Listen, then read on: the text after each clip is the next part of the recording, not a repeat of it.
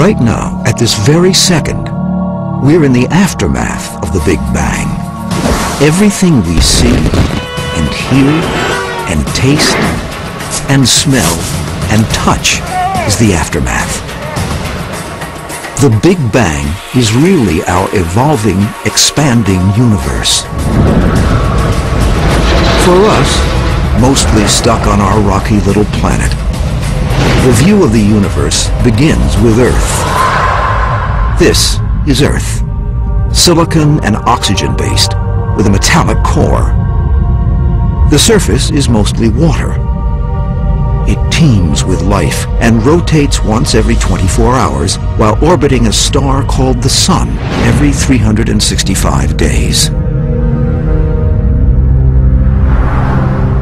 This is the Sun mostly hydrogen and helium, its surface temperature is nearly 10,000 degrees Fahrenheit.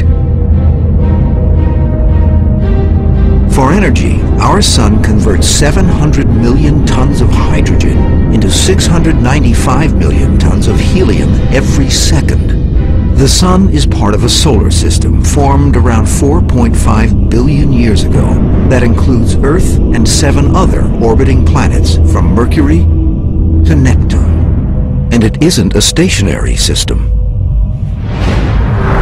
Our solar system is spinning, flying through space at 134 miles per second, turning in circles as part of a vast collection of stars and star systems.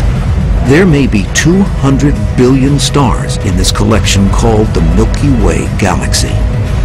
An estimated 6 billion of those stars with planetary systems like ours. Our solar system orbits the center of the Milky Way on one of its outer arms. The Milky Way is one of more than 125 billion galaxies that make up the visible universe.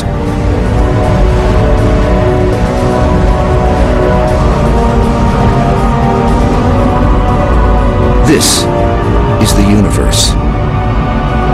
It's really, really big. And it's getting bigger. It's expanding. If the universe is expanding, then it used to be smaller. Much smaller. In fact, if we went back in time, we could watch it shrink.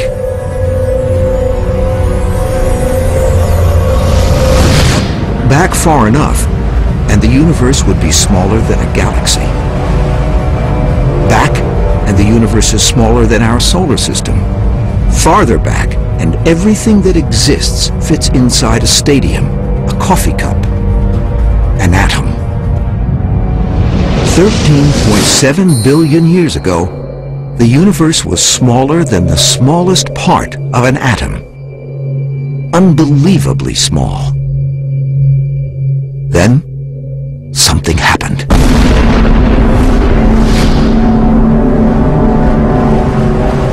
In a flash, everything suddenly expanded. This was how it all began. The first moment of existence. What we now call the Big Bang.